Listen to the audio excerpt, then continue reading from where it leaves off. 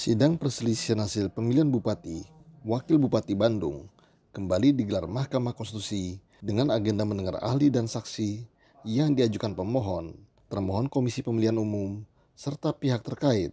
Marwarar Sihaan, ahli yang diajukan pemohon pasangan calon Kurnia Agustina Usman Sayogi, menerangkan ada perbedaan pandangan dari penyelenggara pemilu terhadap aturan yang mengatur pengumuman penetapan perolehan hasil suara pilkada sehingga KPU Kabupaten Bandung tidak mengumumkan penetapan hasil perolehan suara pilkada pada papan pengumuman.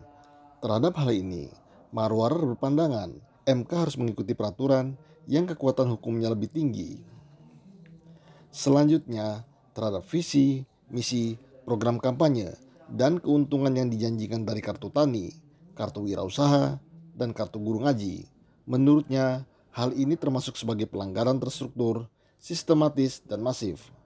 Marwarar juga mengatakan sikap Bawaslu yang tidak menindaklanjuti persoalan itu harus dinilai MK berdasar parameter konstitusi karena kehendak rakyat tidak boleh dipengaruhi iming-iming tertentu.